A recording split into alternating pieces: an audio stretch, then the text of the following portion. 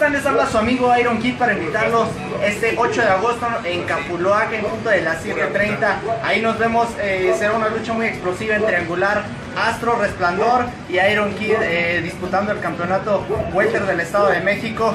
Resplandor y Astro creo que están muy confiados, pero no bajen la guardia porque Iron Kid viene más loco que nunca, el kamikaze del aire, listo para enfrentarlos.